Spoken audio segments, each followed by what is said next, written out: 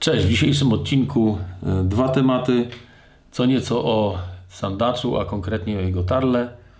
I po drugie, kolejna przynęta z, z kolekcji Salmo pod nazwą Salmo Whitefish. Jeśli jesteście zainteresowani, to zapraszam. No i tak, pierwsze pytanie od kolegi pod pseudonimem Batory. Dzień dobry, mam dwa pytania. Pierwsze, wiek sandacza i ilość ikry. Czy to prawda, że sandacz 70-100 cm składa gorszej jakości ikrę niż ten 40-60 cm? Teoria mojego przyjaciela brzmi, czym starsza ryba, tym ikra jest gorszej jakości. Moje zdanie jest czysto mat y, matematyczne. Jeśli starsza ryba oddaje więcej ikry, więc nawet jeśli jest gorszej jakości, to i tak dla gatunku jest to lepsze. I drugie pytanie, tarło sandacza. Jakie warunki muszą być spełnione, żeby sandacz odbył tarło w 100%? Po czym możemy rozpoznać w pełni wytartą rybę i co zrobić, gdy 1 maja mamy przyłów sandacza i chcemy, by wrócił jak, w jak najlepszej kondycji do wody. Ok, no po, po kolei spróbuję skomentować te pytania i te zagadnienia, choć temat jest dość szeroki. Może trochę spóźniona e, ta moja reakcja, bo już se, sezon sandaczowy w pełni, wiem, że łowicie sandacze i niektórzy nawet całkiem spore. No ale cóż, e, lepiej późno niż wcale. Po pierwsze, powiem dwa słowa na wstępie o sandaczu. Tak jak wszystkie ryby e, słodkowodne, które znamy, praprzodków e, miały te ryby, wszystkie gatunki w morzu, w oceanach, w tym pierwotnym oceanie. Później te, te ryby zaczęły zasiedlać, zasiedlać rzeki i jeziora, które powstawały w trakcie ewolucji Ziemi czyli zasiadały wody słodkie na tych pierwotnych kontynentach. E, I tak jak w przypadku ryb łososiowatych, tak i w przypadku okoniowatych, e, do których należy sandacz, e, do których należy rodzaj sander po łacinie, również miał na pewno jednego przodka, później nastąpił, nastąpił rozdzielenie, nastąpiło rozdzielenie się tego prakontynentu na dwa Europa oddzieliła się, Eurazja oddzieliła się od Ameryk, Ameryk obu. No i w rezultacie rozdzielenia się tego prakontynentu w Ameryce e, pozostały dwa gatunki sandacza, czyli sander vitreus, zwany wolajem, ten najbardziej popularny amerykański sandacz i sandacz kanadyjski, canadiensis po, po łacinie, zwany też soger e, w Ameryce Północnej. Natomiast w Europie, w Eurazji Mamy oczywiście naszego sandacza pospolitego, czyli sander lucioperka. Mamy też sandacza wołżańskiego, zwanego też berszem. No i sandacza morskiego po łacinie sander marinus. Z tych wszystkich gatunków oczywiście największy jest nasz sandacz. Dorasta do 1,20 m, niektórzy mówią, że nawet więcej. Wolej jest zdecydowanie mniejszy. Te woleje, które ja łowiłem w tych miejscach, gdzie jest ich bardzo dużo, 3-kilowy walleye jest uznawany za naprawdę duży okaz. Rekordy tam oscylują, oscylują w granicach 5-6 kg. Natomiast podobno zanotowano y, wolaja o długości 107 cm i to naprawdę już była y, ogromna ryba. Co jest ciekawego u sandacza, to jego wzrok. Y, jego wzrok przystosowany w drodze ewolucji przez tysiące lat do polowania w bardzo słabych warunkach oświetleniowych, czyli albo w nocy, albo w mętnej wodzie. E, sandacz e, i to wszystkie gatunki mają właśnie taką zdolność i ich wzrok przystosował się do widzenia w ciemności i polowania w trudnych warunkach oświetleniowych na kilka sposobów.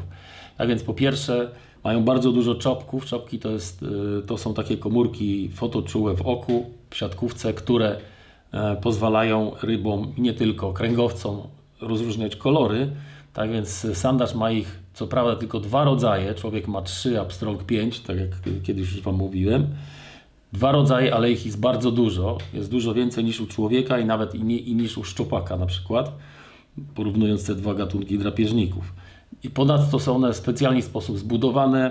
E, dzięki temu właśnie sandacz może bardzo dobrze widzieć w nocy i odróżnia nawet kolory w, w, w dość słabych warunkach oświetleniowych. E, te dwa czopki pozwalają mu odróżniać tylko niestety dwa kolory, mianowicie zielony i pomarańczowy, zielony i czerwony. Znamy to z praktyki.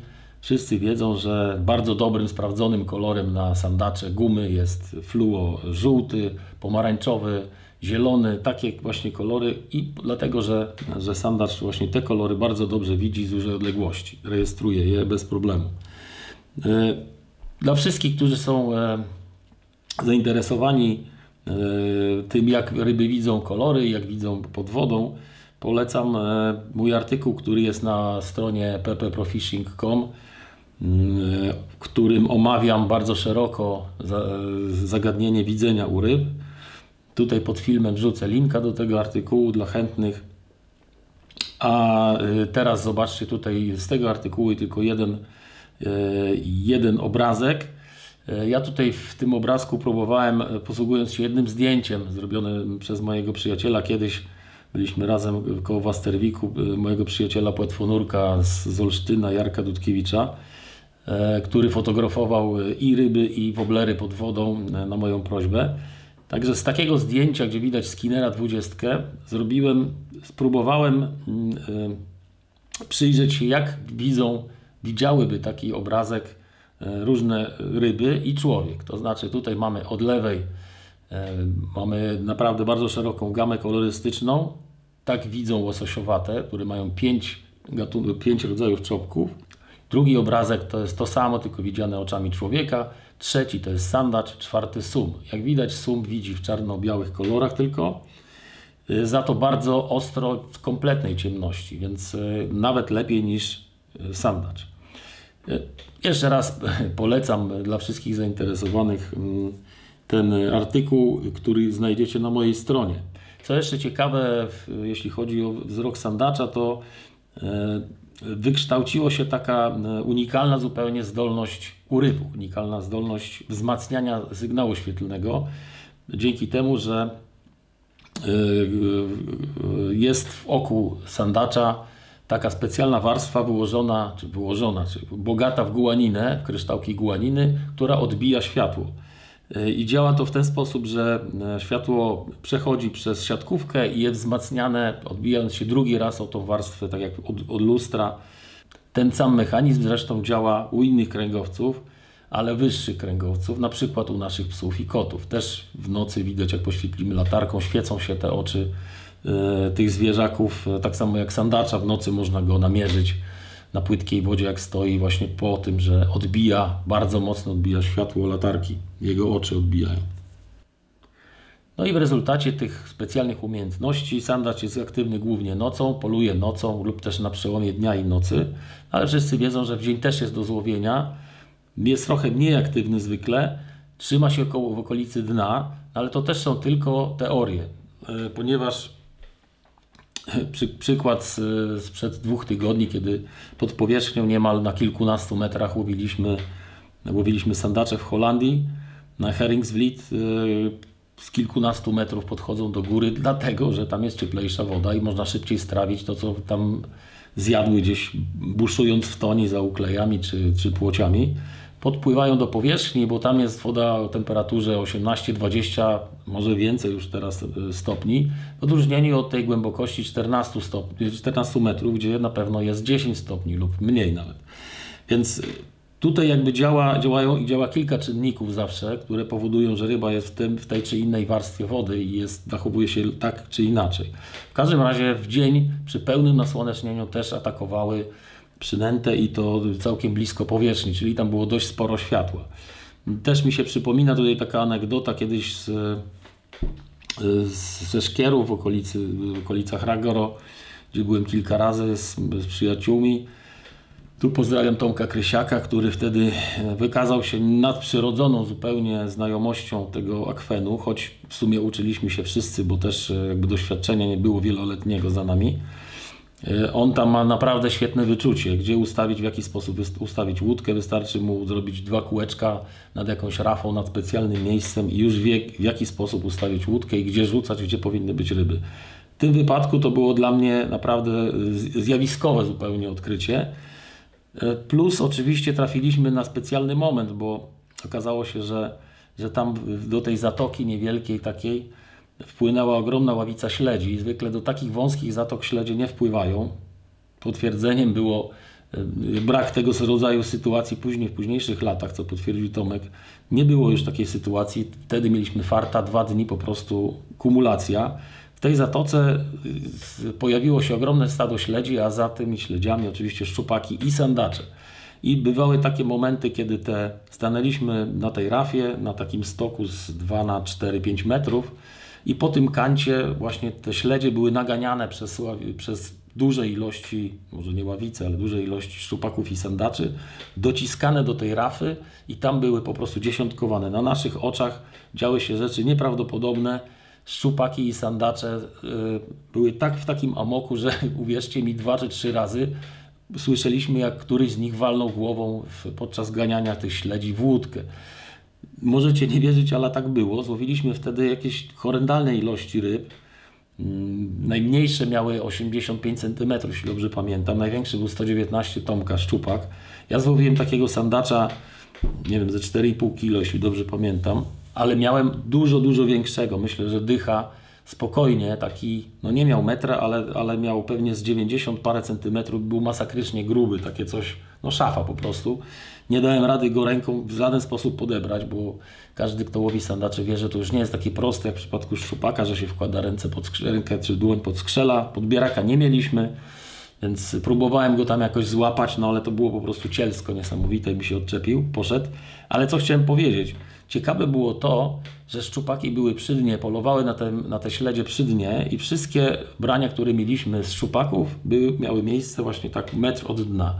Natomiast jak zacząłem prowadzić przynętę wyżej, było kilka brań, których nie mogłem zaciąć. Mówiłem oczywiście na 23 e, Reapera. Tomek na trochę mniejszą przynętę prowadził przy dnie. Ja zacząłem trochę wyżej prowadzić. I miałem kilka brań, które nie mogłem wciąć. W końcu wciąłem rybę i to był ten sandacz 4-kilowy, czy tam trochę więcej. I potem miałem jeszcze tego większego sandacza na to 23 trójkę Reapera, to wtedy był w ogóle ogromna guma. No, no, oczywiście teraz to już nie jest taka duża, no ale 23 Reaper, e, ten wielki sandacz też wziął mi w pół wody, czyli jakieś 2 metry, 2,5 metra od dna co było wielkim odkryciem dla mnie. No i tutaj a propos tego, że sandacze w ciągu dnia trzymają się dna. No, teoria teorią, ale praktyka praktyką i każdy z nas wie, że w zależności od specjalnych okoliczności ryby zachowują się po prostu tak, żeby e, jak, jak najlepszy sposób wykorzystać okoliczności i po prostu najeść się dosytem. Sandacze migrują, pokonując bardzo duże odległości, nie wszyscy o tym wiedzą. E, te wędrówki mogą być pokarmowe, mogą być oczywiście też tarłowe. Występuje zjawisko homingu, czyli powrotu do miejsca, gdzie się dana ryba urodziła. E, w naszych wodach e, sandacze migrują oczywiście między jeziorami, między, z rzeki do jeziora i odwrotnie. Oczywiście również z morza do jeziora i z powrotem. Sam widziałem, byłem świadkiem e, takich historii kiedy byłem na praktyce studenckiej w gospodarstwie rybackim w miejscowości Bukowo-Morskie nad jeziorem, nad jeziorem Bukowo, niedaleko, niedaleko Darłówka, dawno temu. Tam rybacy łowili, o tym już kiedyś Wam też opowiadałem, przywozili, ja byłem na praktyce w ośrodku pstrągowym, ale to było jeden, jedno, jedno gospodarstwo i Widzieliśmy też efekty połowów rybaków, którzy łowili sieciami na jeziorze Bukowo.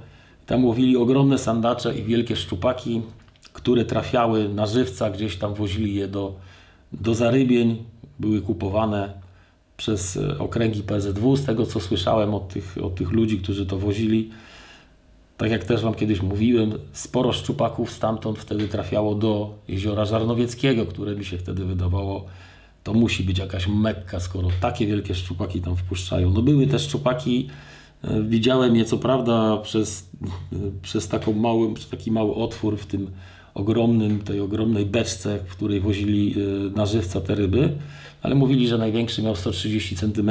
Raczej tak, bo to były po prostu ogromne ryby i widziałem ogromne sandacze. Nie wiem, czy miały metr, ale na pewno w okolicach metra i te, te ryby po prostu zabierali z, z tego jeziora i wozili gdzieś tam na zarybienia. I pytałem tych rybaków, Nie szkoda wam te ryby zabierać, to był marzec gdzieś, więc wszystkie przedtarłem. Zwłaszcza, że one są przedtarłem. No bo dajcie im się chociaż wytrzeć, wtedy je zabierajcie i wypuszczajcie. A oni mówili tak sobie trochę nonszalancko, ale to w ogóle nie ma znaczenia. Słuchaj, tam jest, jest tam e, przejście do morza, wystarczy tylko wypożyczamy koparkę, później kupili koparkę, wypożyczamy koparkę, przekopujemy dziurę w tym, e, tej mierzei i zaraz pełno ryb wchodzi z morza. Tony leszczy, szczupaki i sandacze wchodziły z morza do jeziora. Wtedy oni to odławiali, część sprzedawali y, jako nie, leszcze, tam takie badziewie sprzedawali normalnie do sklepów, a te wielkie tarlaki drapieżników sprzedawali jako materiał zarybieniowy. Dla mnie to już wtedy było trochę dziwne i mało rozsądne, no ale już zostawię to bez komentarza. Najdłuższe wędrówki, y, jakie zanotowano w, na świecie sandacza, to jest y, w Finlandii 250-300 km. Wyobraźcie sobie, że taką odległość potrafią sandacze pokonywać, żeby dotrzeć do miejsc tarłowych lub też do miejsc żarowiskowych. Do tarła y, sandacze preferują twarde dno, żwir lub piasek, no ale wiadomo, że y, bardzo mało jest takich miejsc. W związku z tym zadowalają się zatopionymi gałęziami i roślinami. Tam sama, z tego substratu, który, który jest na dnie, samce budują gniazdo jeśli chodzi o, o płodność sandacza, to jest e, około 200 tysięcy jajeczek na kilogram ciała. Mniej więcej. Bo oczywiście to jest uzależnione od paru czynników, o których za chwilę powiem. Czyli odpowiadając na pierwsze pytanie, czym starsza ryba, tym ikra jest gorszej jakości. To też jest zagadnienie nie takie zero-jedynkowe, bo to zależy wszystko od e, warunków środowiskowych, w jakim wychowuje, w jakim rośnie ryba, w jakim dojrzewa płciowo. Jeśli środowisko jest bardzo bogate w pokarm, jeśli ryba rośnie szybko, szybko do, dochodzi do, do e, dojrzałości płciowej i środowisko zapewnia małym rybom dobre warunki żerowiskowe, to ikry jest dużo, ikra jest dużej wielkości i e, ryb w rezultacie małych ryb rodzi się bardzo dużo. E, jeśli te warunki są słabe, ryba głoduje, nawet duża ryba ma małą ikrę, niezbyt bogatą w, w materiały zapasowe, w związku z tym też e, skuteczność takiego tarła jest dużo mniejsza.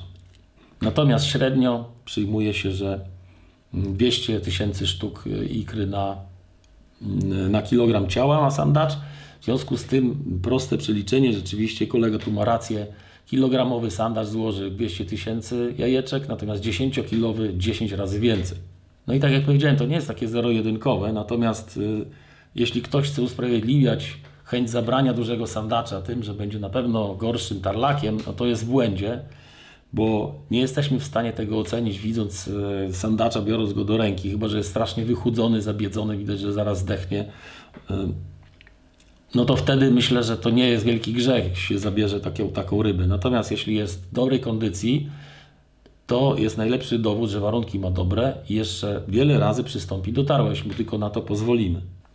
Skuteczność tarła sandacza jest bardzo wysoka, w związku z tym, jeśli y, te sandacze nie są odłowiane na tarle, na gniazdach, bo jak wiecie, samiec sandacza broni gniazda, jeszcze przez y, wiele dni po, po złożeniu tam ikry przez samicę, samica opuszcza gniazdo, sam, samiec staje nad gniazdem, wachlując płetwami, zapobiega osadzaniu się mułu na jajeczkach, no i jakby dotlenia te, te jajeczka i to jest niezwykle istotne. Poza tym oczywiście broni przed wszystkimi rybami, przed każdym intruzem, który mógłby tam się zbliżyć do tego gniazda.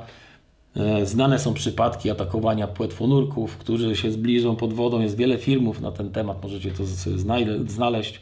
Więc sandacze są absolutnie, samiec, samce sandacza są bardzo agresywne i oczywiście bardzo łatwe do złowienia. No, to wykorzystują, e, to wykorzystują e, pseudowędkarze po to, żeby się pochwalić dużą rybą. Łatwo taką rybę poznać na zdjęciu, bo jest e, przeważnie bardzo czarna, ciemne, w, ciemnych, w ciemnych kolorach. Oczywiście nie każdy czarny sandacz jest złowiony na gnieździe, no ale mm, chciałem powiedzieć, że lepiej w takie miejsce opuścić, nie łowić w, tym, w takich miejscach, bo no raz, że po prostu to jest trochę niesportowe, a dwa, że duże, duże prawdopodobieństwo, że ta, taki sandacz zdjęty z gniazda po prostu już tam nie wróci, chociażby dlatego, że będzie w słabej kondycji. No i gniazdo zostaje bez opieki, czyli skuteczność tego tarła będzie na pewno gorsza. No i teraz jak to jest z tymi tarlakami? Czy te duże, te wielkie ryby, okazy są dobrymi tarlakami, czy wręcz przeciwnie? Szczerze mówiąc, rozmawiałem o, na ten temat y, z kilkoma kolegami, ichtiologami i zdania są podzielone. Szczerze, ja z kolei y, posługuję się jakimś takim instynktem przyrodnika. Wydaje mi się, że jest, jest wiele argumentów, które powinny nas skłaniać do zdania, że te wielkie osobniki są bardzo dobrymi tarlakami.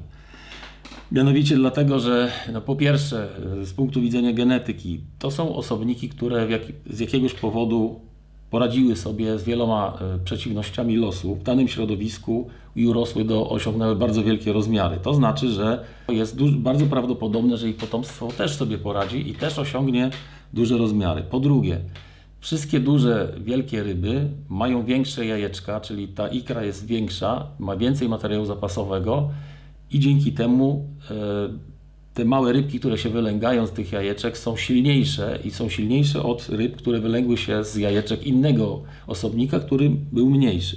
Oczywiście trochę spłycam temat, bo tak jak powiedziałem na początku, to jest uzależnione od warunków środowiskowych i tak dalej, ale generalnie w zdrowym środowisku, gdzie jest dużo pokarmu, jajeczka wielkich ryb są dużo lepsze, większej, lepszej jakości niż jajeczka mniejszych ryb.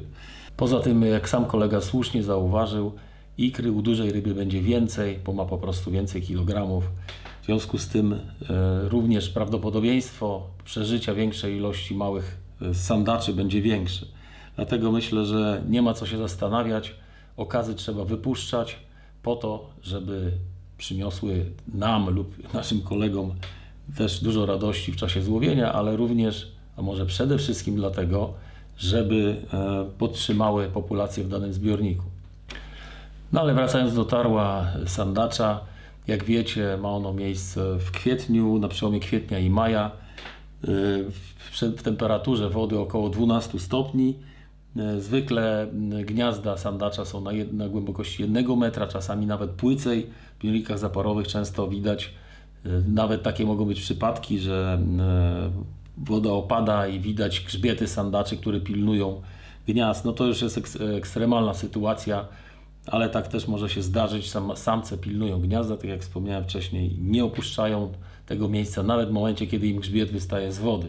Taki silny jest ten instynkt e, obrony gniazda.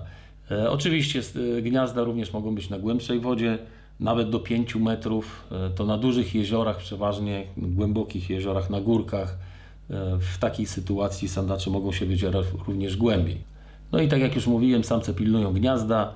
Właściwie do momentu, to zdania są podzielone, kiedy następuje wylęk, e, ale też sporo badaczy i teologów twierdzi, że samce pilnują do momentu gniazda, kiedy, kiedy małe sandacze mają 2-3 cm długości i odżywiają się już, e, są drapieżnikami, odżywiają się małym wylęgiem innych gatunków. No i tu drugie pytanie od kolegi, jakie warunki muszą być spełnione, by sandacz odbył tarło w 100%? I po czym możemy rozpoznać w pełni wytartą rybę? No jakie warunki? No jak wspomniałem, odpowiednia temperatura wody, odpowiedni substrat na dnie, tu się kłaniają zabiegi e, takie rybacko-wędkarskie, miejsca, gdzie jest mało substratu, czyli w, przeważnie e, w, w takich starych, starych jeziorach, starych zbiornikach zaporowych, gdzie, gdzie jest dno pokryte mułem, gdzie nie ma za dużo roślinności, warto wstawiać tak zwane krzeszliska. To są, e, to są takie urządzenia zbudowane z, nawet ze starych choinek, które zostają po świętach w dużych ilościach. No w każdym razie gałęzie e, drzew iglastych bardzo dobrze się do tego nadają. No i drugie pytanie kolegi, jakie warunki muszą być spełnione, e, żeby sandacz tarło w 100%? No jak powiedziałem, odpowiednia temperatura wody, brak bardzo dużych wahań poziomów, bo jeśli tarło jest na jednym metrze, na głębokości jednego metra, a woda spadnie poniżej metra, to nawet jeśli tarło się odbyło, to nic z ikry oczywiście nie będzie. W miarę stabilna temperatura, bez skoków temperatury, wtedy, tak jak w przypadku szczupaka Wam opowiadałem, również standard w momencie, kiedy są duże spadki, duże różnice temperatur e, i duże, duże e, różnice, duże zmiany pogodzie generalnie, tarło może zostać przerwane, i y, często y, część ikry, duża część ikry jest resorbowana przez y, samicę i to nie jest zdrowe dla, dla tych ryb. No i oczywiście jakość tarła jest dużo gorsza w takich sytuacjach. Poza tym oczywiście dobrze by było, jakby nikt sandaczom w, tej, w tym tarle nie przeszkadzał. Wtedy jest szansa, że się wytrą w 100%. A rybę wyjętą z wody, jak poznać, czy jest wytarta?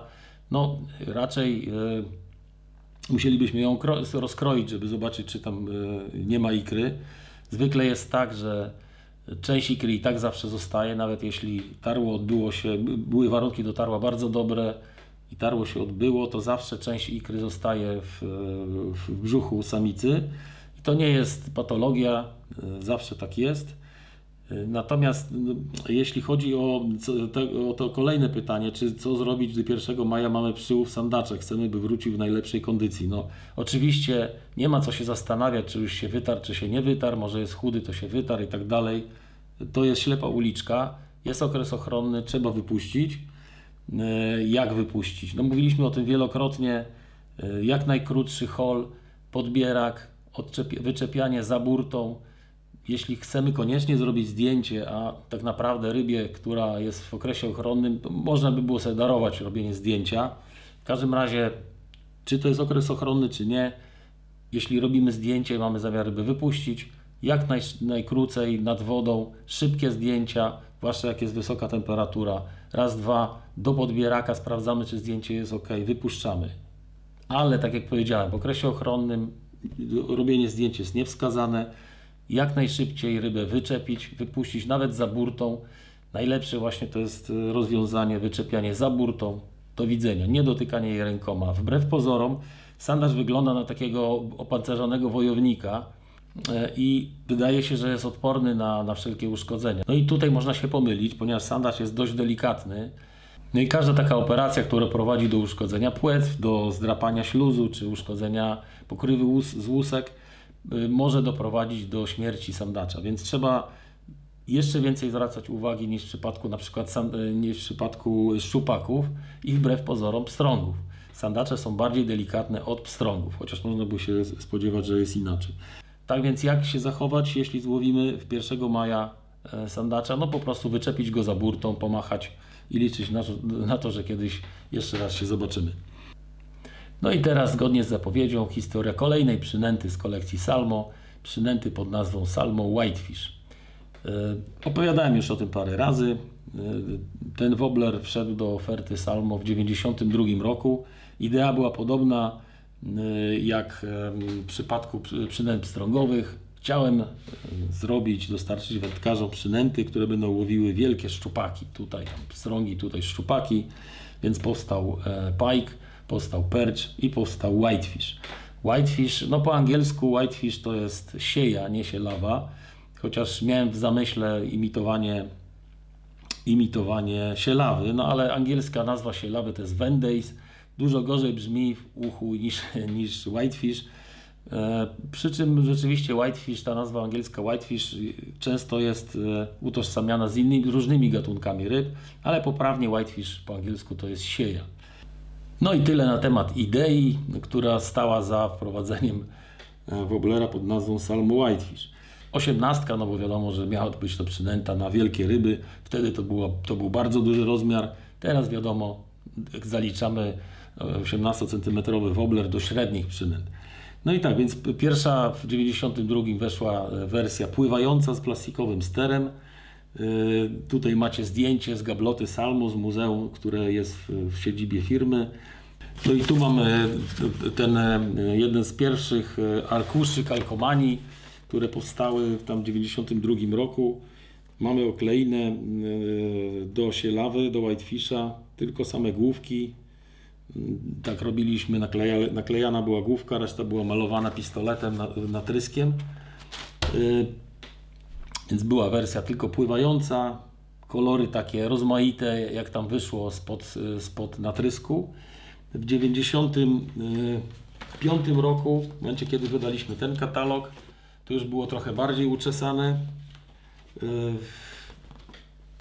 kolorów było więcej, bo tutaj już yy, w międzyczasie dołożyliśmy do, do Whitefisha wersję tonącą, bodajże 93 lub 4 rok, tego nie pamiętam. Natomiast w 95 już pojawiła się, tak jak tutaj widać na tym Color Selection, 13. I tu mamy trzynastkę na, na tej samej karcie, co jest co Pike. Jedenastka Roach i, i, i dziewiątka i Perch ósemka była Whitefish trzynastka. No kolory, tak jak tu widać, to jest 95 rok. Mówiłem już o tych kolorach dziwnych, takich Fire Panther, Green Panther, Green Tiger, makrele, zielona i niebieska. Te kolory, w szczególności te, były mm, powstały za inspiracją naszego szwedzkiego dystrybutora. Tam Szwedzi strasznie się zabijali za, o te kolory. Również nie tylko na szczupaki i sandacze, ale również na łososie. Łowili na trola łososie, na te whitefishe. Sporo fajnych ryb było złowionych w tamtych czasach. Whitefish był rewelacyjną przynętą i bardzo docenioną. Kolejne zmiany w rodzinie Whitefish to rok 2000. I tutaj do oferty dołącza dołącza, dołączają dwa modele, czyli Whitefish Jointed i Whitefish 13 Sinking z metalowym sterem. Łamana też jed, jedna wersja, jeśli chodzi o ster, bo wtedy, o czym mówiłem już przy okazji percza i pajka, wklejaliśmy ster razem z drutem wmontowanym, czyli drut nie był jednoczęściowy, nie łączył tego kółka ogonowego z przodem woblera.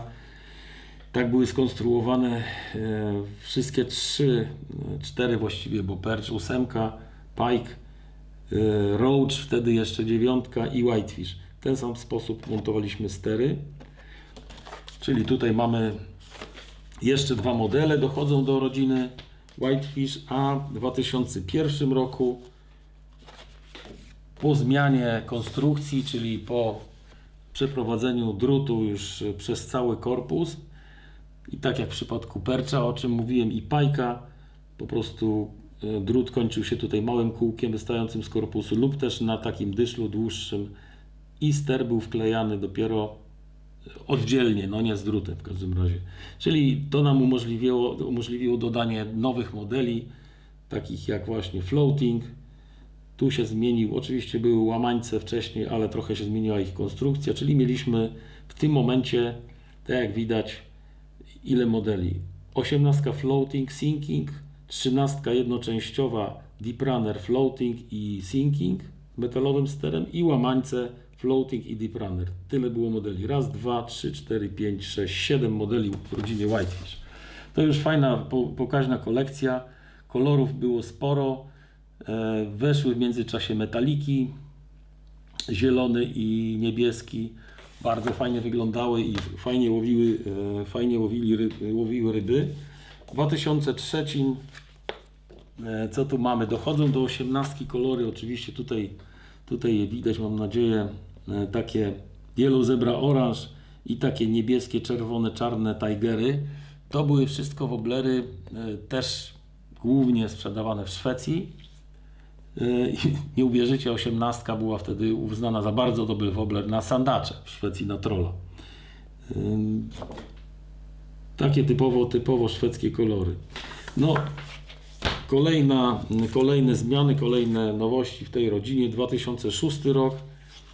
Yy, Nic wielkiego, żadnej rewolucji. Pojawia się kolor SNO, czyli stary Night Orange, czarny z brokatem i z czerwonym, z czerwonym brzuszkiem. A tutaj przy okazji fajna fota barakudy złowionej na ten sandaczowy kolor osiemnastki.